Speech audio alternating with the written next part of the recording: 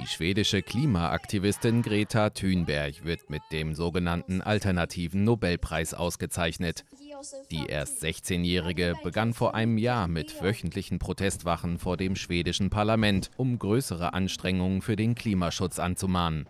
Anfangs war sie ganz allein. Binnen weniger Monate entwickelte sich daraus die weltweite Bewegung Fridays for Future.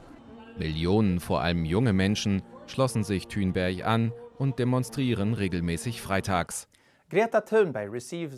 Ole von Yxkull, Direktor der Stockholmer Right Livelihood Award Stiftung, erklärte, Thunberg werde ausgezeichnet, weil sie politische Forderungen nach sofortigen Klimamaßnahmen auf der Basis wissenschaftlicher Tatsachen angestoßen und für deren Verbreitung gesorgt habe. Der Right Livelihood Award gilt als alternativer Nobelpreis und ist je Preisträger mit einer Million schwedischen Kronen, umgerechnet rund 94.000 Euro dotiert. Die weiteren Preisträger in diesem Jahr sind Davi Kopenawa, Anführer der Yanomami-Volksgruppe im brasilianischen Amazonasgebiet, die chinesische Frauenrechtlerin Guo Yianmai sowie die Menschenrechtsaktivistin Aminatou Haidar aus Westsahara.